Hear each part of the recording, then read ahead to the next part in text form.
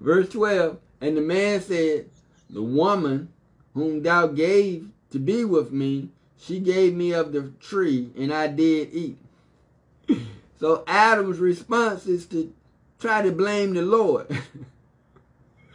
Not taking ownership of his own problem, his own sins, his responsibility for his own actions.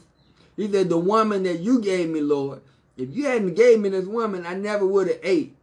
But because you gave me this woman and she eat, then I ate. but it's because you gave me this woman. I didn't want to lose her. I, I didn't know what else to do. if she was going to be dead, I guess I wanted to be dead too. I'm sorry. I ate. So he believed every word that Eve said. Adam was not deceived. He knew exactly what he was doing. He transgressed against God's commandment, his laws, his words, his statutes.